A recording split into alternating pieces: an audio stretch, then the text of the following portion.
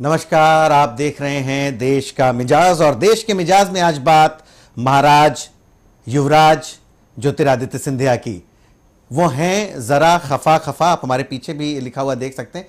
क्यों हम कह रहे हैं कि जो ज्योतिरादित्य सिंधिया हैं, वो खफा खफा नज़र आ रहे हैं? आइए पहले दिखाते हैं आपको एक ये रिपोर्ट उसके बाद इस पे और बातचीत।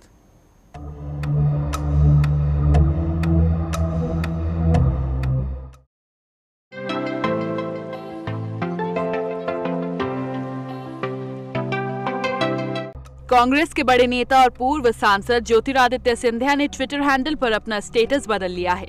सिंधिया ने कांग्रेस का ज़िक्र हटाकर खुद को समाज सेवी और क्रिकेट प्रेमी बताया है। वहीं ज्योतिरादित्य सिंधिया के इस बदलाव से नेताओं के बीच कई तरह की चर्चा शुरू हो गई। महाराष्ट्र में हुए विधानसभा चुनाव के दौरान कांग्रेस की ओर से उन्हें चुनाव प्रभारी बनाया गया था। वे लगातार मध्य प्रदेश में अपनी ही पार्टी की कमलनाथ सरकार पर सवाल भी उठा रहे हैं। पिछले दिनों उन्हें मध्य प्रदेश की प्रदेश कांग्रेस कमेटी अध्यक्ष बनाए जाने की मांग भी उठी थी। लेकिन कांग्रेस आला कमान ने मध्य प्रदेश विधानसभा चुनाव में जीत के बाद से अब तक इस पर कोई निर्णय नहीं लिया। वहीं माना जा रहा है कि जिससे नाराज़ होकर ज्योतिरादित्य सिंधिया ने ये कदम उठाया है। बता दें कि ज्योतिरादित्य सिंधिया ने इससे पहले अपने ट्विटर पर स्टेटस में पूर्व सांसद और पूर्व केंद्रीय मंत्री लिखा था, लेकिन अब वह समाज सेवी और क्रिकेट प्रेमी लिखा है। वहीं सिंधिया के ट्विटर अकाउंट से पार्टी का नाम हटाते ही मध्य प्रदेश की राजनीतिक गलियारों में अब सुखबुगाहट शुरू हो गई है और उन्हें जल्दी ही बीजेपी ज्वाइन करने की अटकलें भी तेज हो गई हैं। साथ ही ये भी अटकलें लगाई जा रही है कि ज्योतिरादित्य सिंधिया अपनी नई पार्टी का गठन भी कर सकते हैं। News desk.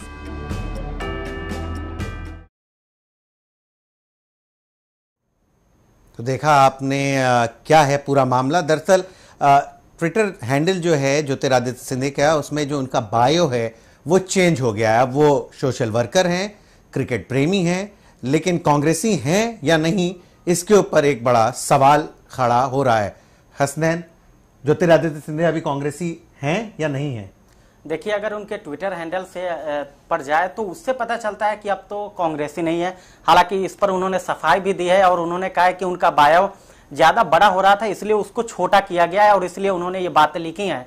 लेकिन लोगों लोग इस पर कहीं ना कहीं राजनीतिक मायने इसके निकाल रहे हैं और इतना पक्का ये माना जा रहा है, बहुत सारे जो विश्लेषक है, उनका ये कहना है कि कहीं ना कहीं जो महाराष्ट्र पे कांग्रेस नज़र बनाई हुई है, वहाँ पे सारे आला कमान लगे हुए हैं, उसके चक्कर में कहीं एक तरफ़ एमपी न खिसक जाए उनके हाथों से। और अगर मान लीजिए अगर कांग्रेस से सिंधिया निकलते हैं तो बहुत बड़ी संख्या में वहाँ के एमएलए हो कांग्रेस के या अन्य जो नेता हैं जो बड़े नेता हैं कहीं ना कहीं जो सिंधिया खेमे के कहे जाते हैं उनके भी निकलने और इसके अलावा आप देखें तो सिर्फ़ सिंधिया ही नहीं उनके कुछ और सपोर्टर्स या बाकी जो उनके सहयोगी नेता रहे जो खासकर उनके बहुत करीबी है उन्होंने भी अपना बायो चेंज किया है। और कांग्रेस से हटा के अपना जो भी रखा है। तो उसको देखते हुए एक बड़ा संदेश यहाँ पर देने की कोशिश मुझे लग रहा है कि सिंधिया की तरफ़ से कही जा रही है, क्योंकि पूरे आप घटनाक्रम को देखें तो सिंधिया बहुत दिनों से खासकर लोकसभा चुनाव के बाद से ही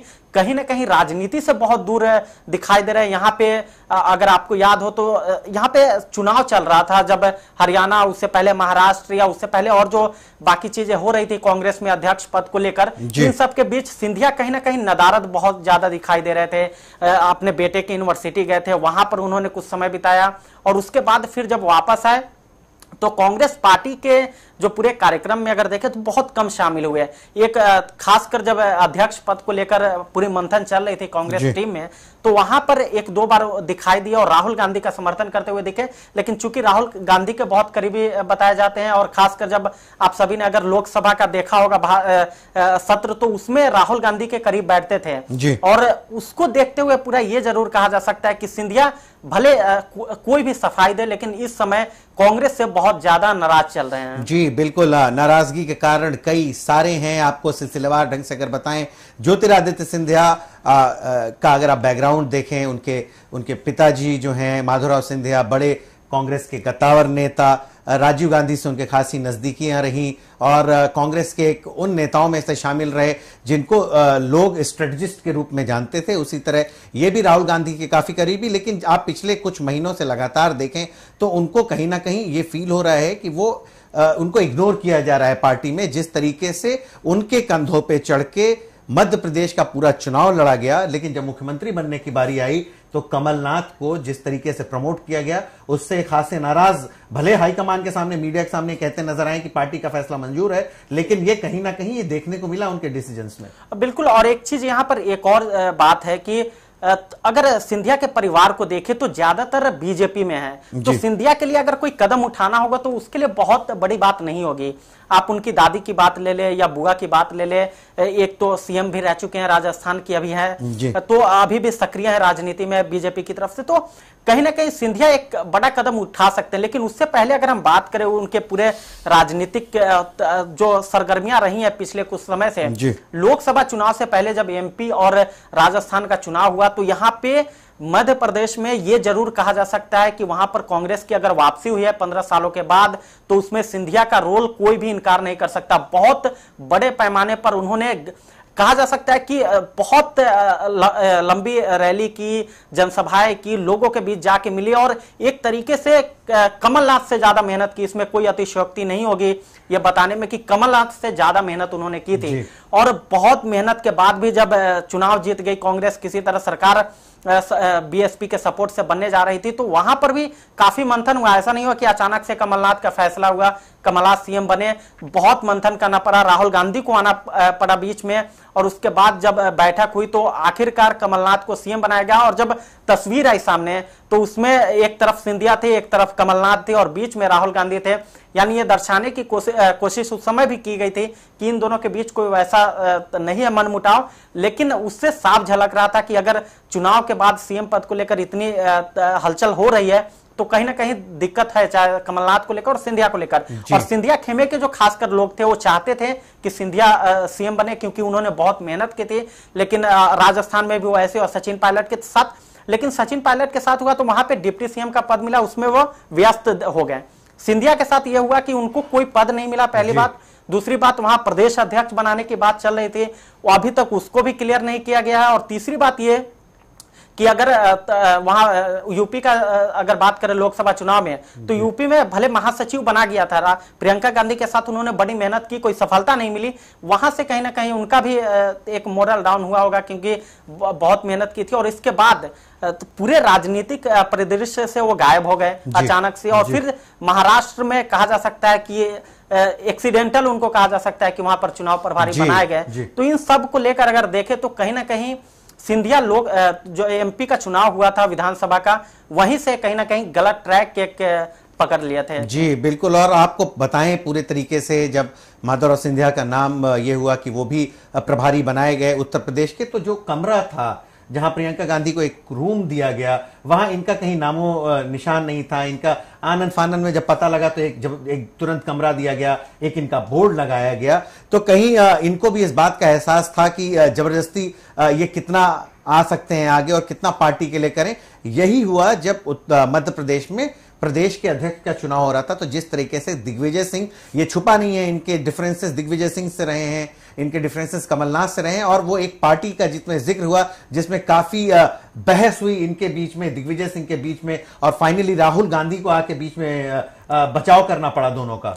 बिल्कुल, और सबसे बड़ी बात यह है कि आप एमपी में अगर देखें तो ज्योतिरादित्य सिंधिया के लिए जो वहाँ पर प्रदेश अध्यक्ष बनाने की बात चल रही थी बड़ी संख्या में लोगों ने उनके जो सपोर्टर्स थे उन्होंने प्रदर्शन किया और मांग की। नेतृत्व से जो आला कमान है उनसे मांग की कि सिंधिया को ही बनाया जाए। लेकिन उससे भी बड़ी बात यह है कि कांग्रेस पता नहीं अगर पिछले कुछ समय से देखे तो लगातार जो बड़े फैसले हैं उन्होंने पहले देश के साथ ऐसे बहुत बड़े फैसले जिसको लंबा खींचा उन्होंने और अब जाके खुद का डिसीज़न नहीं ले पाती है कांग्रेस पार्टी अध्यक्ष पद से जब से सोनिया गांधी बैठी हैं उनका भी अगर डिसीज़न देखे तो बहुत लंबा अभी महाराष्ट्र के हाल का एग्जांपल ले ले तो वहाँ पर भी देख रहे हैं शिवसेना और एनसीपी कब से कोशिश कर रही है लेकिन कांग्रेस उसको खींच रही थी। आज मामला क्या हो रहा है आप सभी को सुप्रीम कोर्ट पहुँच गया मामला। तो उसी तरीके से उनके अंदर जो राजनीति किसी को पद देने की बात हो या किसी को प्रदेश अध्यक्ष बनाने की बात हो वहाँ पर भी लंबा खिंचतान चल रहा है। चाहे बाकी राज्यों में बना भी दिया गया। प्रदेश अध्यक्ष चाहे छत्तीसगढ़ जो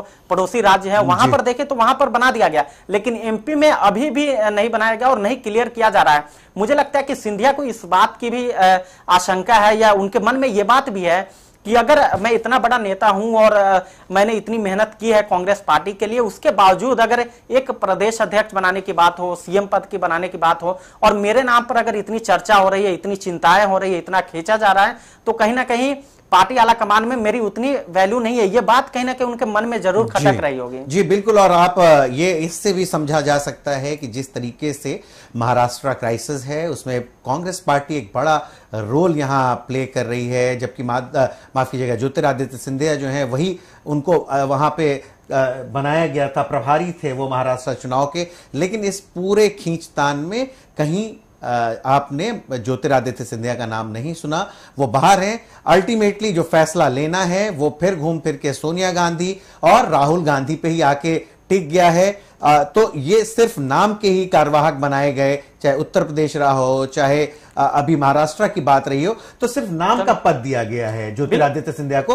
काम का पद कभी नहीं मिला उन्हें। बिल्कुल जिस तरह की नाराज़गी दिख रही है उसे साफ़ पता चल रहा है कि उनको कहीं ना कहीं एमपी चुनाव में जिस तरह उन्होंने ताकत झोंकी थी भले यूपी के लोकसभा चुनाव में वहाँ पर बहुत मेहनत की लेकिन वो जो एक जोश होता है एक अंदर से जो बात निकल के आती है किसी भी नेता में या राजनेता में वो कहीं भी दिख नहीं रही थी। एमपी में अगर आप पूरा उनका कैंपेन उठा के देख ले बड़े कहा जा सकता है कि जोश खरोश के साथ वहाँ पर उन्होंने तैयारी की थी और कहीं ना कहीं ये बात उनके मन में थी कि इस बार सीएम पद उनको मिलेगा और ये एक युवा नेता है और कांग्रेस के बड़े नेताओं में अब गिनती होने लगी है और खासकर राहुल गांधी के साथ उन्होंने जो लोकसभा में बगल में बैठ के और राहुल गांधी चूँकि उस समय प्रदेश अध्यक्ष भी थे कांग्रेस के तो एक ये देखा जा रहा था कि राहुल गांधी उनका फेवर करेंगे लेकिन वहाँ पर भी उनको मायूसी हाथ लगी और इसके अलावा अगर आप देखें तो इनके पिता के साथ की की भी जो घटना है लगभग कुछ इसी तरह की है। इसी तरह उनको कहीं ना कहीं राजनीति से साइडलाइन करने की कोशिश की गई खासकर पद के मामले में। तो उस समय हालाँकि उनके पिता की आग मतलब कहा जा सकता है कि दुर्घटना में मौत हो गई लेकिन कहीं ना कहीं उनको भी साइडलाइन किया जा रहा था। और अब अगर सिंधिया अभी हैं तो सिंधिया को अगर इस तरह साइडलाइन किया जाएगा तो कहीं ना कहीं कोई कदम तो उठाएगा। और इसके अलावा सिंधिया में एक और चीज़ कही जा सकती है कि उनमें बड़ी ये बात है कि चुनाव उनका हारना कहीं ना कहीं एक बड़ा लोकसभा में क्योंकि चुनाव हारने के बाद जो कांग्रेस के ही बड़े नेता वही उन पर निशाना साधने लगे उतना उनका इंपोर्टेंस नहीं समझ रहे थे और इसलिए ये हो सकता है कि जब अपनी सीट नहीं बचा पाए तो कांग्रेस के लिए। और एक समय सबसे अच्छी बात यह थी कि एक समय इनका जो अध्यक्ष पद है कांग्रेस का उसमें इनका नाम चल रहा था उनमें रेस में थे। और बहुत संभव ऐसा लग रहा था कि अगर राहुल गांधी नहीं बनते हैं तो ज्योतिरादित्य सिंधिया को हो सकता है कि अंतरिम अध्यक्ष बनाया जाए।, जाए। लेकिन उसमें भी आ, आ, सब लोग उम्मीद कर रहे थे कि हो सकता है सिंधिया को एक बड़ा पद मिले। लेकिन आप देखें कोई पद भी नहीं मिला। और एक महाराष्ट्र में जब चुनाव हुआ तो उनको चुनाव प्रभारी बनाया गया। तो उससे कहीं ना कहीं बहुत खफा खफा से थे। जी बिल्कुल खफा खफा से हैं और हालाँकि सोशल मीडिया पे आके आज उन्होंने इन सारी बातों का खंडन किया बोला कि मुझे हँसी आ रही है ये सारी चीज़ें देख के, क्योंकि मैंने एक महीने पहले अपना बायो चेंज किया था, लेकिन चेंज किया तो आखिर क्यों किया? ये सवाल तो उठेगा ही और उठेगा तो इनको जवाब भी देना पड़ेगा। आपको क्या लगता है ज्योतिरादित्य सिंधिया ने ऐसा क्यों किया? कमेंट बॉक्स में लिख के हमें बताएँ। हमारे चैनल को लाइक करें, सब्सक्राइब करें। हमारे ऐप को भी ऐप स्टोर से जाके डाउनलोड करें। वहाँ आपको टाइप करना है N Y triple O Z और जो पहला ऐप आपको नज़र आए, उसको डाउनलोड करें, क्योंकि वही मिलेगी आपको आपके शहर की सच्ची और सटीक खबरें वीडियो के फॉर्मेट में। आज के लिए इतना ही। कल फिर लौटेंगे एक और नए मुद्दे के साथ। तब तक के लिए दीजिए हमें इजाज़त। नमस्कार।